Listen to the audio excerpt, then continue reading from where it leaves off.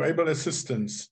Uh, I had the last on, on our last meeting, I had uh, the subject about Oecolampadius. And uh, despite the title, I began with Oecolampadius because uh, Oecolampadius was an interesting person uh, in connection to the Lord's Supper.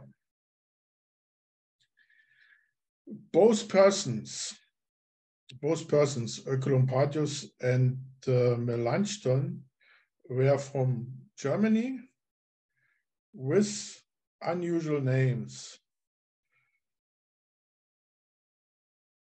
In E volume 8, we read, before describing the member of antitypical Jacob who initiated the little flock movement that crown lost leaders perverted into the Baptist church, we should call attention to the fact that in starting each little flock movement, which was later turned into a sectarian system, while the Lord used one special brother, most prominently, he always supplied him with an able assistant, apparently on the principle exemplified in the Gospels, in Jesus sending out his messengers two by two.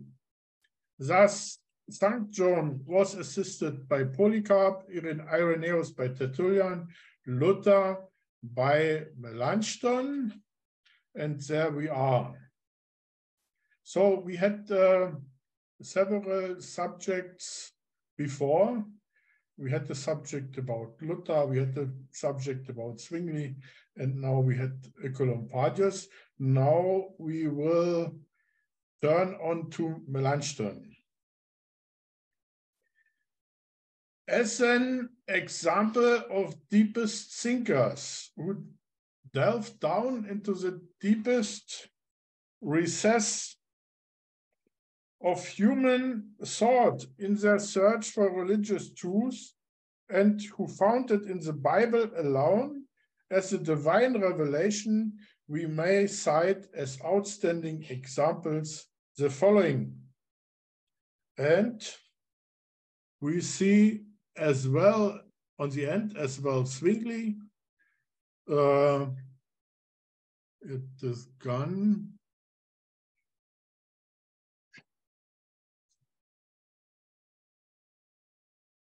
We see as well as Zwingli, Oecolampadius, Luther, and Melanchthon. If we go to Melanchthon. Philip Melanchthon was born on 16th February in 1397 in Bretten and died on 19, 19th April of 1560 in Wittenberg.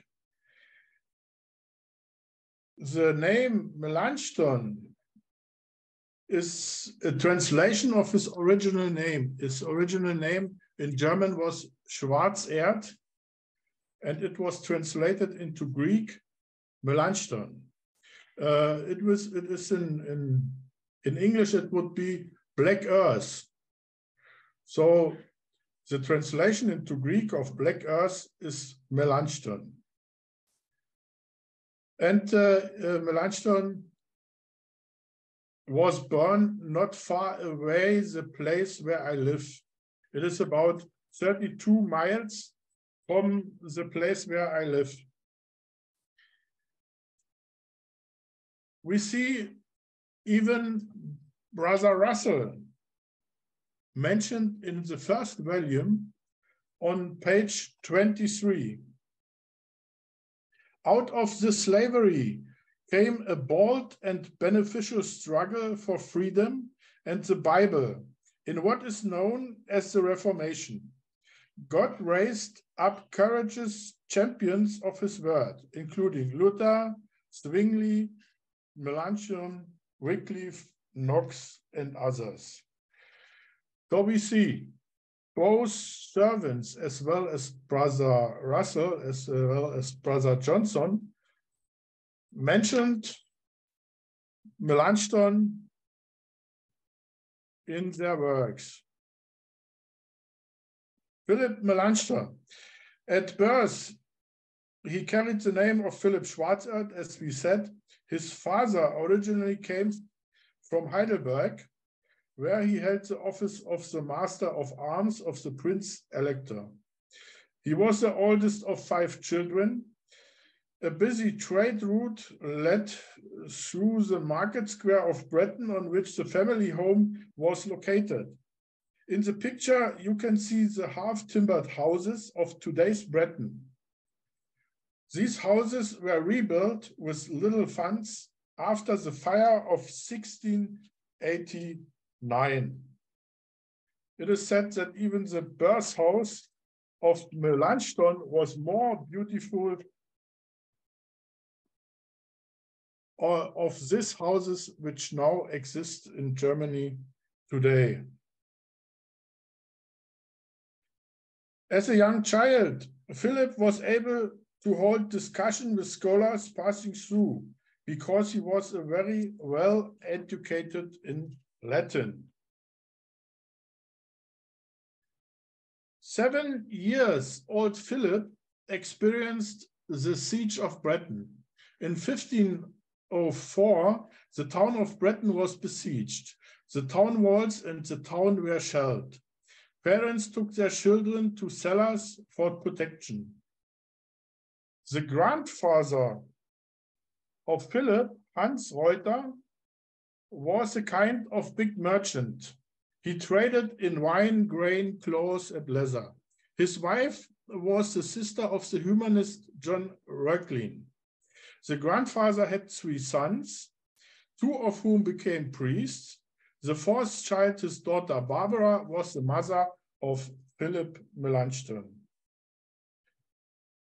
And uh, if you look at this picture, you see it is a museum, museum or the Melanchthon Museum, and you see Brother Jack talking with the guide of the museum.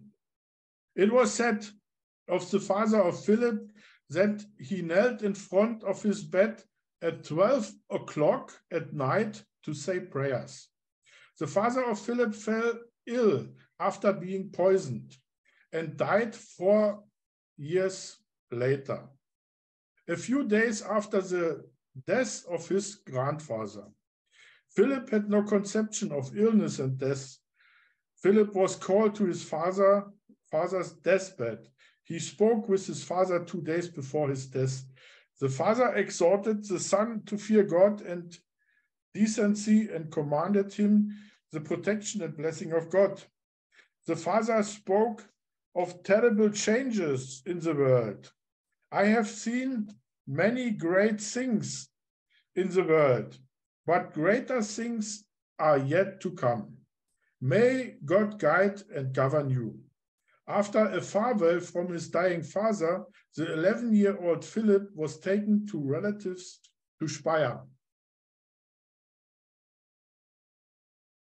Thereafter, he attended a Latin school in Pforzheim for one year. Philip ranked highly above all others as the most gifted student. He also, at that time, learned Greek. At the age of 12, he was able to enroll at the University of Heidelberg. He resided with the theologian Paulus Spangel. He was awarded the Bachelor of Arts degree at the earliest possible date on June 10 and 15 11. In the three years at the university, you can see at the picture, it is the university in Heidelberg uh, of today, uh, even worldly good known university. In the three years at the university, he had developed his language skills in Latin and Greek. A professor at the University of Heidelberg once asked, Where can I find the Greek among you? To which everyone replied, Melanchthon. Philip also studied Greek literature and the Hebrew language. In 1512, at the age of 15, Philip wanted to earn a master's degree, but the professors in Heidelberg refused to admit him. He then continued his studies in Tübingen. In Tübingen, Philip also rededicated himself to Latin and Greek, reading Greek and Latin poets and philosophers, making him a true humanist. In 1514, he became a teacher at the University of Tübingen. Philip was engaged in translation from Latin and Greek.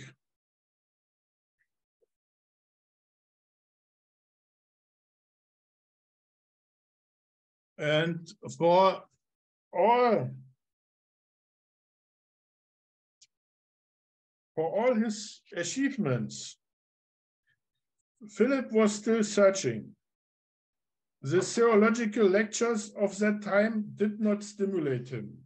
He always carried and read a Latin Bible given to him by his great uncle Reuchlin.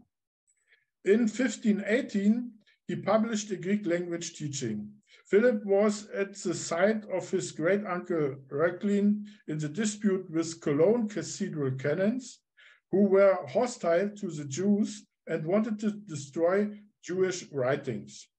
The publication of the 95 theses on 31st of October 1517 did not seem to have touched Philip particularly. So we see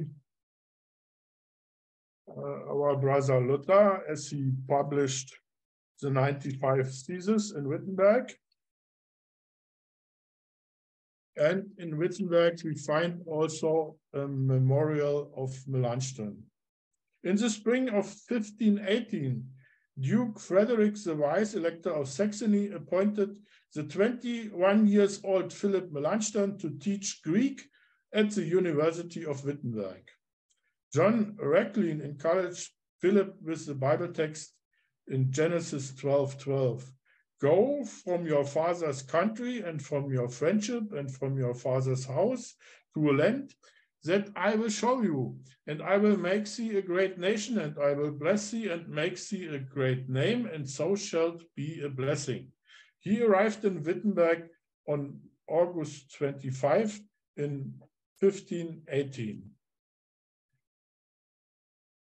On August 29 in 1518, he delivered his introductory speech in Wittenberg in Latin. The content, the content of which was something like this back to the old languages, back to the Greek and Hebrew, besides Latin, back to the sources and back to the Bible. Philip was small and lanky and had a slight speech impediment. Yet the students were captivated by the young teacher with the intellectual features, the far-sighted thoughts, and his melodious language. Luther said, I desire no other teacher in Greek as long as this man remains to us. Luther attended his lecture in Greek is I thank my good Philip for teaching us Greek. I am older than he. That alone does not prevent me from learning from him. I say it freely. He understands more than I, of which I am not at all ashamed. Luther and Melanchthon were friends until the end of their lives. Melanchthon soon became a disciple of Luther and attended Luther's lectures on the biblical books and the services in the Wittenberg City Church.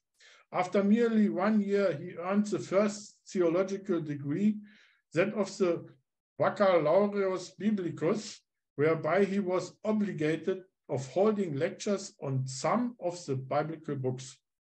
Philip found a delicious pearl in Jesus Christ and his gospel, and what he found in the beginning of 1519, he kept and talked and wrote about until God completed him and called him home. More and more, Melanchthon based himself on the Holy Scripture, and uh, Luther uh, had to say about his interpretation of the Psalms and other biblical writings. This little Greek surpasses me even in theology. Melanchthon, however, in his modesty and respect for Luther, always wanted to be only his assistant. He was already concerned about Luther in 1519 when he had to appear before Cajetan in Augsburg. He supported him at Leipzig disputation, stood with his students next to him when he burned the Pope's bull of excommunication in front of the Elster Gate in Wittenberg on December 10th in 1520. He feared for him when Luther was at the Diet of Worms, and he did not know for a long time what had become of him on the journey home. He stood up for Luther when he had married Katharina von Bora in 1525 and was reviled for it. But Melanchthon also saw Luther standing at his sickbed in Weimar in 1540. There he lay near death and heard how Luther struggled for his life with God. Melanchthon was exhausted by mediating in theological disputes and on the journey to Hagenau fell ill in Weimar, whereupon Luther said, God forbid, how this tool has been violated for me. And in both studies rooms, at the table in the garden of Melanchthon House, at conferences and on walks, both men stood on and on in conversation about the Holy Scriptures and the relationship of the Catholic Church and their ceremonies.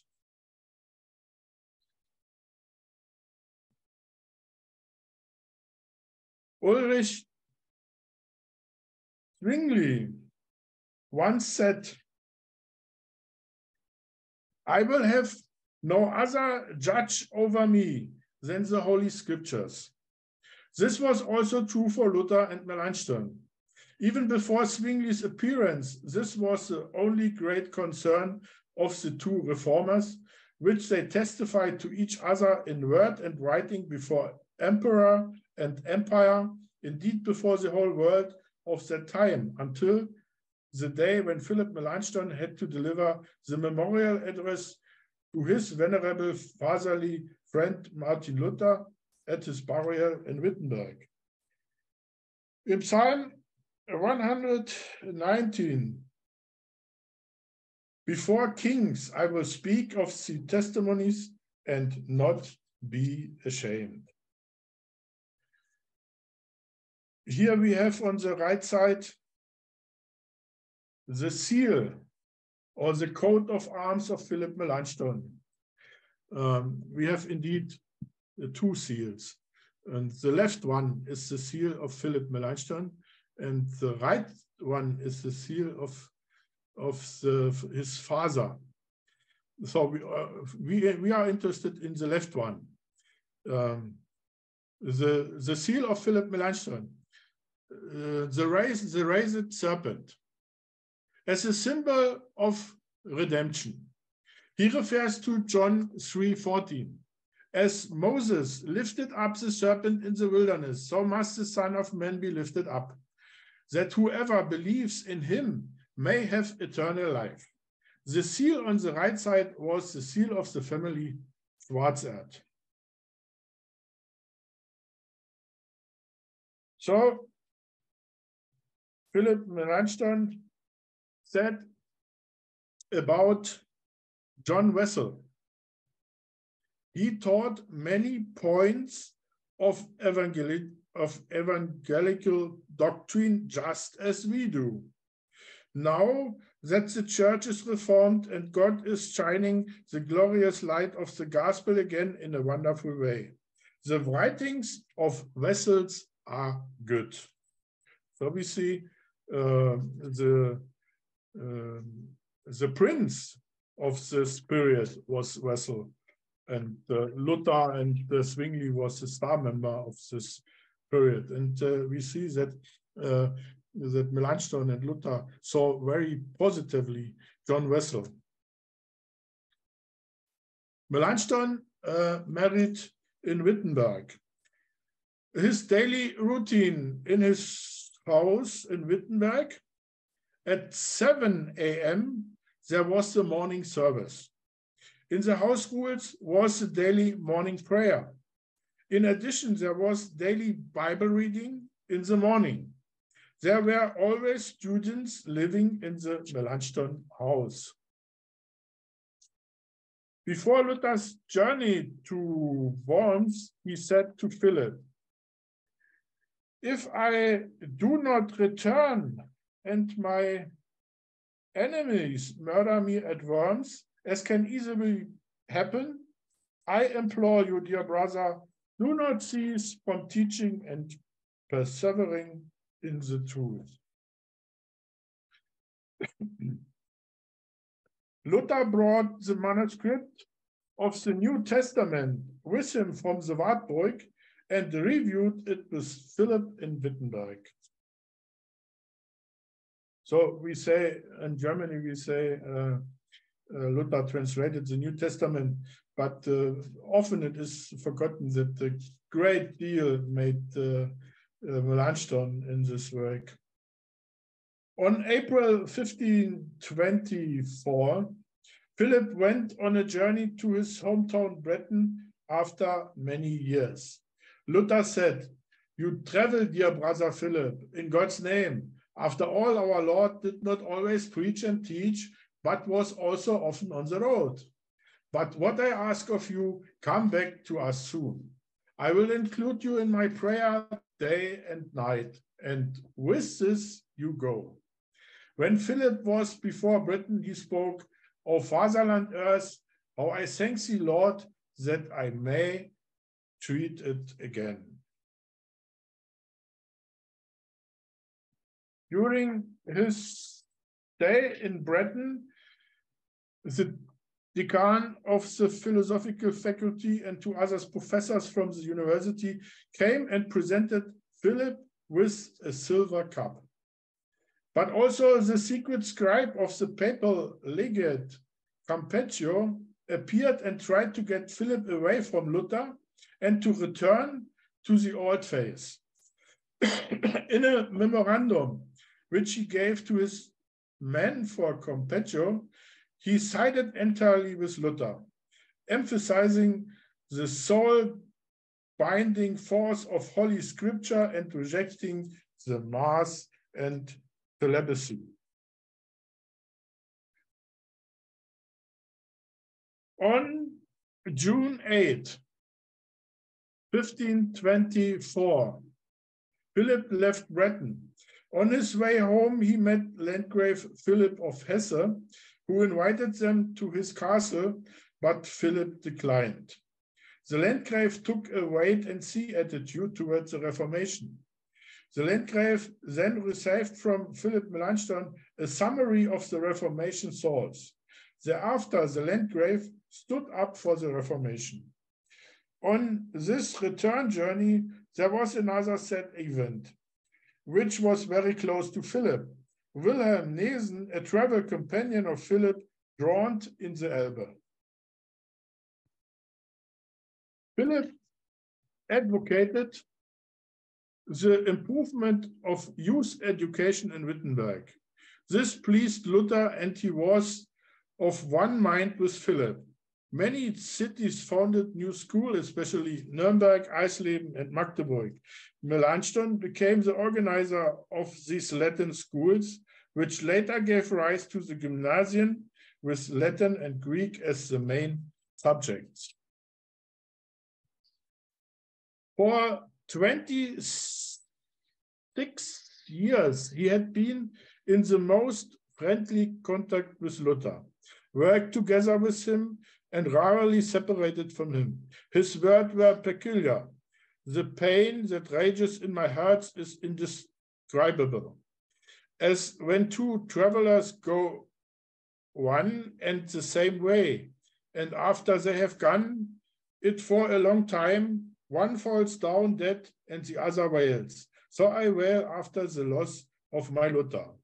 I always thought I would leave the world before him, and yet I still have to survive him.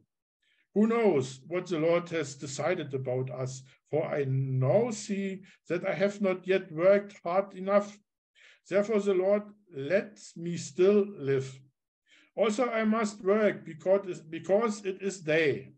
I praise Luther happily that he did not experience any wars because of religion. I may not be so happy.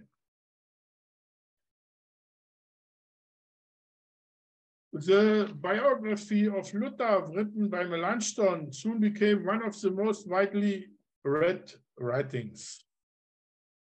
In the last years of his life, he had to witness how many of his friends preceded him in death.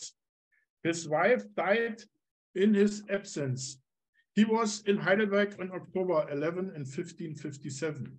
Justus Jonas on 9th of October 1555, and Johannes Bugenhagen on 20th of uh, August in 1558 in Wittenberg. He continually improved his books or completely rewrote them until he was satisfied with them. He wrote three commentaries on the Apostle Paul's letter to the Romans which was, according to Melanchthon, the most significant book of the New Testament.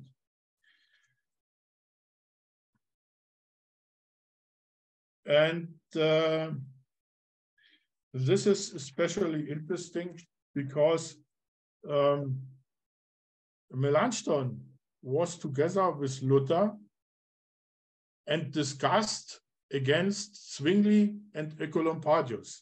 And uh, Zwingli had the right view of the Lord's Supper. And uh, on this time in 1929, when, when the discussion was in Marburg, Melanchthon was on the side of Luther. And he um, was had the same view as Luther and was against Zwingli.